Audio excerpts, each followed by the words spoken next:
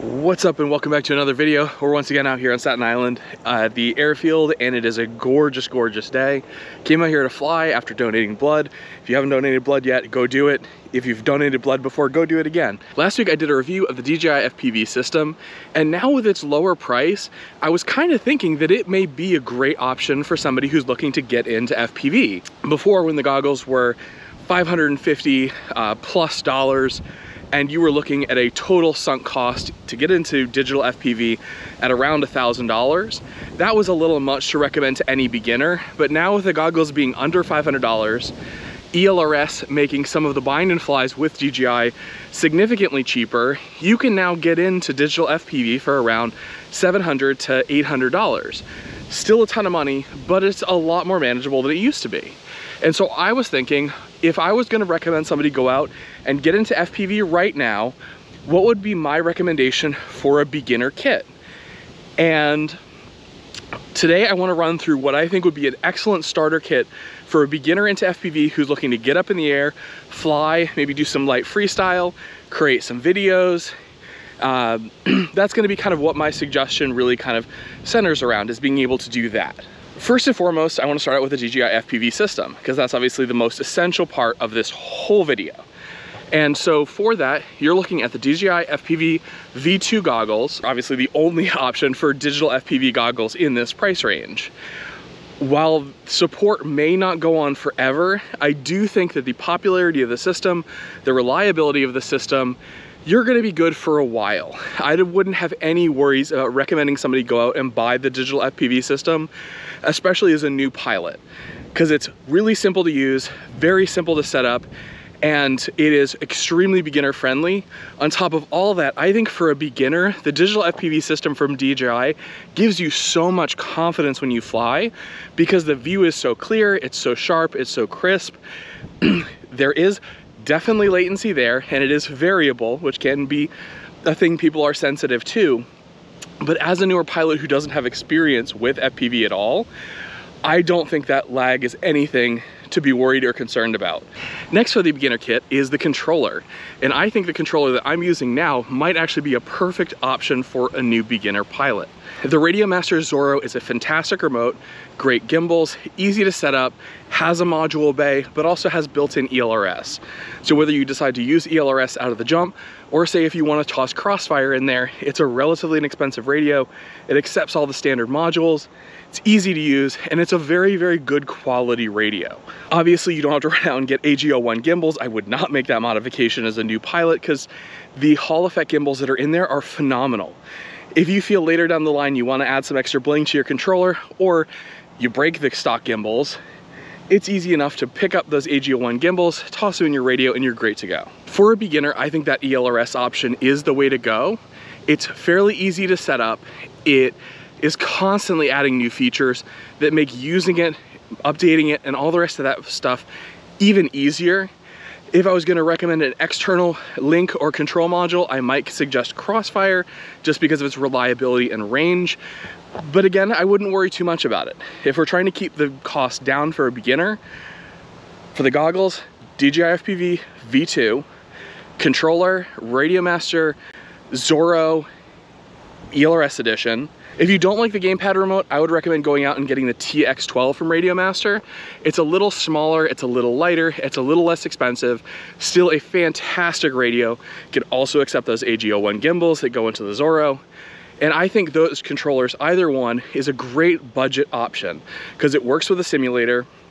They're very durable, high quality pieces of equipment, and both come stock with ELRS built in. Now we come to the most important part of this entire video, and it is the drone.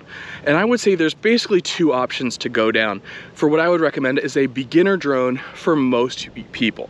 These two options each have their own specific place. Both are great options for pretty much anybody, but it comes down to what you want to get out of your FPV experience. If you're looking to get into racing, if you're looking to get into freestyle, if you're looking to get into even fast cinematic flight, I think something like the Emax Babyhawk 2 HD is the way to go. At around uh, between like three and four hundred dollars, the Emax Babyhawk 2 is a fantastic option.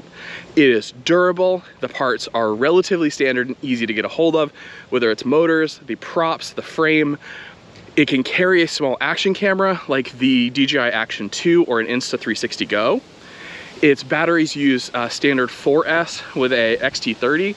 Obviously you can add an XT60 if you want, but it's little light cells, so you're not gonna spend a fortune on batteries and it's going to get up, get you up in the air and flying very, very quickly.